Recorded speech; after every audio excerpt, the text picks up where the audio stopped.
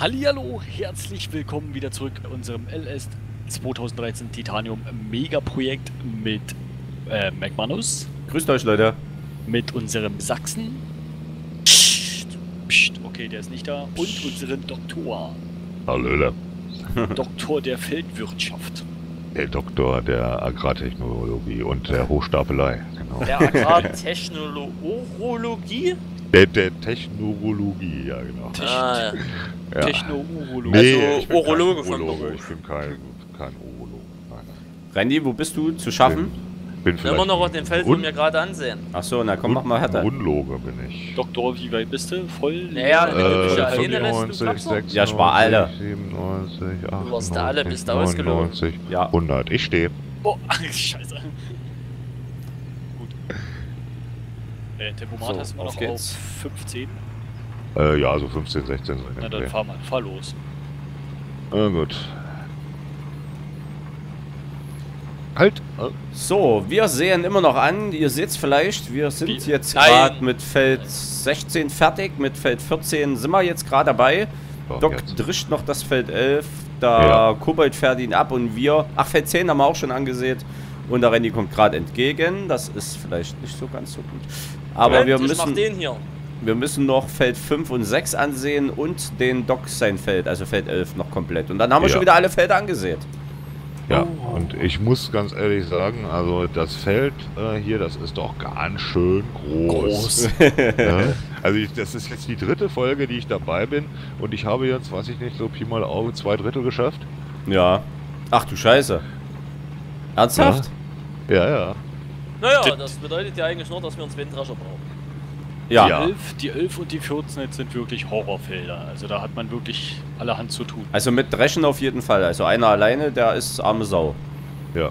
Das steht fest. Aber ich denke mal, ein neuer Drescher und äh, äh, mehr Felder wird sowieso die nächste Investitionskette, oder? Ja, äh, klar, wenn dann halt, wie gesagt, wenn der Kredit abbezahlt ist, dann Ja, ist ja jetzt die das Hälfte haben wir ja schon weg.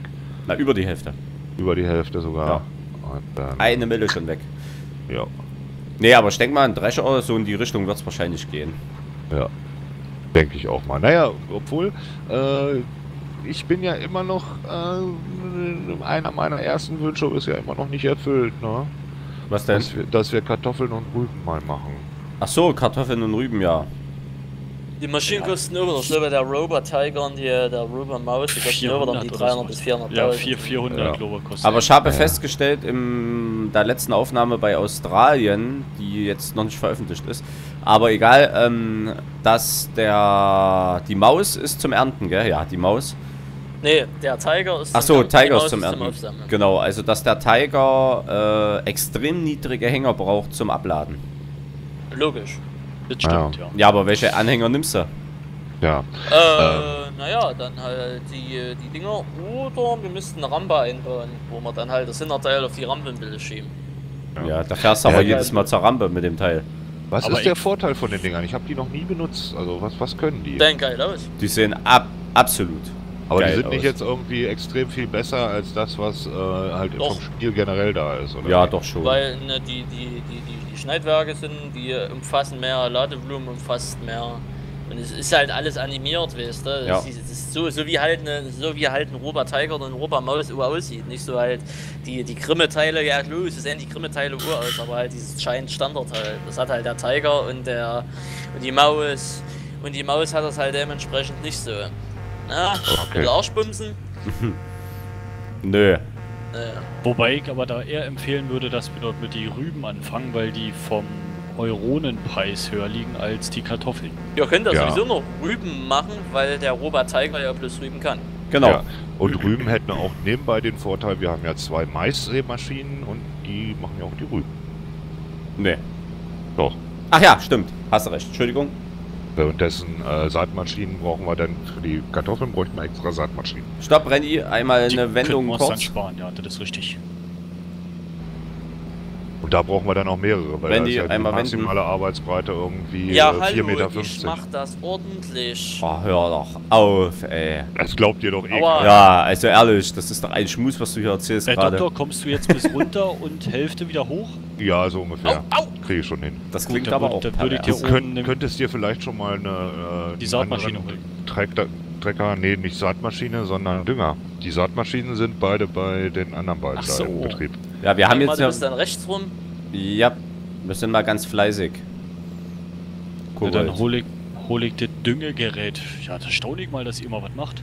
Oh, ey, das läuft Ja. nur noch Wir hier. staunen, dass du anwesend Autsch. bist. Ja. Ja, ich, also ich bin immer hier. Da wo der Doktor ist, da bin auch ich. So. Willst du ein bisschen Doktorspielchen machen? Jo, genau.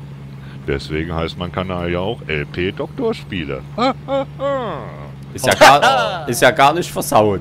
Ist das gar nicht an, eindeutig zweideutig, ne? Ja. Ja, und genau aus dem Grunde habe ich den Kanal ja auch so genannt. Dino, Ja. wo bist denn du? Feld 5 und 6. Der Ich bin gerade bei Doktor. 5 und 6 an der Schule und hier ist keiner. Na, ich fahre ja gerade schon die erste Bahn. Willst du mich verlappen? Hier ist doch keiner. Warte, ich komme gerade zurück. Äh, Da, links, schon. äh, rechts von dir aus. Wo, wo kann denn jetzt schon gedüngt werden? Feld 16 habt ihr fertig, ne? Oder? Es können alle Felder außer ein Dockscience gedüngt werden. Gut, gut. Im Prinzip ja, genau. Dann mache ich mich mal auf Oh, den jetzt stellt er Weg. den Überladewagen hier genau in den Weg. Äh, ich hab gedacht, das passt. Ja, das passt, äh, hätte theoretisch gepasst, aber praktisch bin ich falsch gefahren. Äh, Randy, ich fahre jetzt äh, Hab's bei dir die Nebenspur. dass Fährst du dann bei auch mir die Der, Nebenspur? der Fehler lag bei mir. Ich hab so Das hat er nicht dass verstanden, du dann unterwegs noch entladen kannst. Rein theoretisch. Was? Was? Ich, ich sag doch. Ach, er der Tino ist auch verstanden. da, okay, alles klar. Hi Tino. Ich sag, ah, Schlag. Ich, äh. ich hab gesagt, ich fahr. Ah, siehst doch, wo ich bin, oder? Mach dann einfach den Streifen, der noch übrig ist. ah. Da wollte er mal intellektuell wirken und sagte das Wort Nebenspur. Oh. Genauso wie die Nasennebenhöhlen, ne? Ja, genauso wie Kakteen und Kaktusse, ne? Ja, ja. Ja, ja. Also Kakteen und Kaktusse sind also intellektuelle Wörter. Nee, aber Kakteen gibt's nicht. Äh, Kaktusse gibt's nicht, meine ich. Kaktusse gibt's Kak- nicht, genau. Kaktus ist kein Plural von Kaktus. Ah ja. Kaktus es. Achso, warte, Plural, äh, Renny, die Mehrzahl. Ach, ehrlich. er, tut, er tut heute so, als könnte er mal wieder adäquat artikulieren. Aber im Endeffekt äh, ist sein, sein Sprachwesen bzw. sein Sprachmensum absolut nicht gut und er artikuliert an sich immer so widerwärtig. Aber Jetzt naja. ziehst du doch gerade am es vor Freude, vor oder? allen Dingen, es, ist, es ist aber auch wirklich immer, ich weiß auch nicht. Also dieser übermäßige Gebrauch von Fremdworten finde ich persönlich immer reichlich lächerlich. Ich finde es, Ähm, äh, jetzt ich, da möchte ich auch niemandem zu nahe treten, aber jetzt mal beispielsweise meine Mutter versucht immer sich besonders gewählt auszudrücken, ja. Ähm, und da sie dann aber teilweise die, Bedeu die wirkliche Bedeutung der Fremdwörter nicht, ein Worte nicht eindeutig kennt, äh, wirkt es dann doch etwas lächerlich. Also ich sage immer ganz ehrlich dazu, die Leute, die das Wissen haben, ist mir das egal. Aber die Leute, die, die, die versuchen da irgendwas darzustellen, indem sie Fremdwörter benutzen, die sie nicht mal kennen, Ja. oder die vielleicht sogar falsch platziert sind im Satz, das soll es ja. Ja. auch geben, äh, ja, da, das finde ich auch sehr, sehr lächerlich, muss ich ganz ehrlich sagen. Und man sollte sich immer so ausdrücken wie, äh, also ich sage immer, ein guter Chef, der redet in der Sprache seiner Mitarbeiter. Ja, richtig, genau. So, dass, dass die ihn verstehen. Ja, Ah. genau. Und dann. Ey, du, du scheiße arbeiten, du mehr. Ist doch doof. Ja, man kann aber trotzdem, Oh. auch wenn man sich einfach ausdrückt, ein gewisses Niveau einhalten, wobei wir bei dem altbekannten Thema sind. Ähm, ich weiß ja nicht, wie du dich immer unterhältst, aber ich artikuliere mich immer adäquat. Punkt. Äh. Punkt, Punkt, Punkt. Aber ist euch mal was aufgefallen? Das sind die einzigsten Ähm. zwei Fremdwörter, die Randy kennt. Weil die hat er jetzt schon so oft gesagt. Nicht sagen. Aber, ja, Am Arsch. Ich kann, ich kann auch äh, sehr schöne Wörter wie zum Beispiel Layout verwenden, ja. Ui. Ja, das, das Layout deiner, deiner Dachwohnung gefällt mir nicht. Das hast du aber hier bei Schöner Wohnen gesehen, oder? Na, auf jeden Fall. RTL bildet ja, ne? Hast du es jetzt ernst gemeint mit meiner Dachwohnung? Nein, sieht gut aus. Danke. Ich habe ja nur gesagt, das Layout. Ach so. Ja, und für einen Dachboden kannst du ja nur schlecht was am Layout verändern. Hm. Abreißen. Ei, ei, ei, ei, ei. Abreißen. Abreißen, neu bauen, genau. Äh, Randy Ja. 5 und 6 ist fertig. Ja, ja, ich muss eh aufdanken. Ich sage, ich sage mal, wel- welches Haus braucht ein Dach? Ja, jetzt seid ihr geschockt, ne? Ja, eben. Liebe genau. Kinder, äh, Häuser Dach. brauchen keine Dächer, die gibt es Richtig, nur, weil das sie ist- schön aussehen. Das ist über, überflüssiger Ballast eigentlich. Da könnte man noch eine Etage draufsetzen oder zwei oder 15. Und die, Dä die Dächer macht man auch nur schräg. Die was, Wa- die Dä? Die Dächer Die- macht man die auch nur schräg, dass Wasser von den Fenstern abläuft. Genau. Dass dann hier, wenn ihr jetzt so einen jüngeren Cousin oder Schwester habt und die sind dann so an der Scheibe und das Leute, ganze nicht, Schmutzwasser rieselt dann so runter und dass ihr das ab. halt mit der Zunge ab. absolute Scheiße gerade. Mhm. Wir haben auch einen Bildungsauftrag, muss man ab und zu mal darauf hinweisen, dass, Wir dass ihr gerade Scheiße erzählt und dass man euch nicht glauben kann. Ich bin sehr gebildet. Ähm, Eingebildet vor Dingen. Gülle Ne? ist Nein. bei der Kuhweide. Ist da was drin? Wisst ihr, einer? Äh, Kuhweide, es müsste was drin sein. Auf jeden Fall ist in der BGA eine Menge. Ähm, Und die ist ich daneben. kann dir sagen, dass in der Kuhweide, nee, wir haben, ach ja, genau, haha, wir haben ja, ist dir aufgefallen, Tino, Was denn? äh, Animal Hut ist raus. Ja, ich drück die ganze Zeit schon Minus. Warum ist denn der raus? Äh, weil den, der nervt eh nur. Ehrlich? Den kann man doch mit Minus ausschalten. Ja, aber den schaltet man immer aus und dann, wenn man den immer ausschaltet, dann kann man auch gleich ganz weglassen. Och nee, oder? Ja, doch. Oh, oh, oh. Oh, das finde ich- Wir haben, traurig. wir haben, Nee, also wir Animal haben, Hut äh, find Vor ich- der letzten Aufnahme haben wir ein paar Mods runtergeschmissen. Ein paar Mods. Jetzt wird's Ja. interessant. Ja, Welche die wir eh nicht noch? mehr brauchen. Äh, zum Beispiel haben wir das Classic Pack rausgenommen. Ja, gut, das okay. wirklich keiner Brauchen, gebraucht. brauchen wir halt eh nicht mehr. Ne? Ja. Weiter. Äh, buh, müsste müsst ich nachgucken. Also es waren insgesamt Aber den. Animal hat, das finde ich jetzt doof. Oh, Findest du jetzt doof? Du jetzt Naja, ich meine, ich sag mal, äh, äh, gerade was das Mischfutter betrifft und so, es war eine tolle Übersicht. Naja, Und, und was an Stroh noch drin ist, was an Gülle da ist, ja, da ist Gülle, genau. Ja, das Gülle Problem da ist halt bei dem Ding, es aktualisiert nicht schnell genug. Und ähm, ja, da, ich, also ich persönlich habe immer in die normale Ingame-Info reingeguckt und gut ist. Ich hasse die Ingame-Info. oh. Oh, du bist jetzt Ein traurig. Schmollmund für Will, Tino. will, will der Tino jetzt auf den Arm? Aber wir haben ja einen Bildungsauftrag, den sollen wir ja weiter fortführen. Liebe Kinder, macht alle Abitur, das geht noch drei Jahre. Ja, aber ihr habt dann hinterher bessere Chancen, um zum Beispiel Maurer zu werden oder so. Genau. Also ich sag mal so, äh, äh, damit werdet ihr auf jeden Fall Maurer. Da ist nichts erst mit Einstellungstest und so, da seid ihr direkt genommen. Oder Ja. Trockenbauer oder Fliesen. Nein, das soll jetzt Nein. natürlich keine Berufsabwertung werden. Weil Aber stell dir mal vor, wir hätten keine so, Maurer. Dass du, dass du teilweise äh, Abitur, also zumindest äh, einen Realschulabschluss brauchst, um halt in den Jobs zu landen, richtig. Wenn ich mir teilweise angucke. Aber das ist ein sehr schönes Stichwort, PISA-Studie. Wir sind immer noch die Dürfsten. Nein, nicht ganz. Na, nicht Ja, ganz, aber- aber, immer noch ganz weit hinten. besser Wir haben einen Platz gut gemacht. Ja, Ja. super. Und außerdem gab es ja auch eine Studie, dass äh, im Osten, meine Damen und Herren, im Osten sind die Schüler schlauer in Mathe, Physik und äh, Biologie oder Chemie war es. Im Ja, wenn, dann Bio. Zu Westen. Ernsthaft? Aber Ja, wir sind, das, wir sind Aber ich finde, das- Aber soll ich dir mal was sagen, Randy? Ich finde, das gleicht sich wieder aus. Wir verdienen 15% weniger. stimmt auch Das- wieder. Äh, das ist Ja, eigentlich, aber das finde ich, das Traurigste überhaupt, dass Richtig, das in Deutschland bist immer noch so ist. Bist du schlauer und verdienst trotzdem weniger. Was, was ich halt auch äh, immer unverschämt finde, dass teilweise halt wirklich die Frauen deutlich weniger verdienen als sie, ihre männlichen Kollegen, obwohl sie wirklich die gleiche Arbeit machen. Das Obwohl man sagen muss, dass die Emanzipation der Frau, wenn es so weitergeht, muss man bei die Emanzipation des Mannes machen. Naja, gut, also in dem. Das Wort äh, googelt ihr einfach, falls ihr es Das, nicht kennt. das, das finde ich halt so lächerlich. Äh, momentan ist ja gerade so die Phase, äh, wir sind ja jetzt sozusagen, die Koalitionsverhandlungen sind abgeschlossen und jetzt warten wir ja noch auf das Urteil der SPD, ob die das nun alles annehmen. Ähm, und es wird als großer Erfolg gefeiert dort.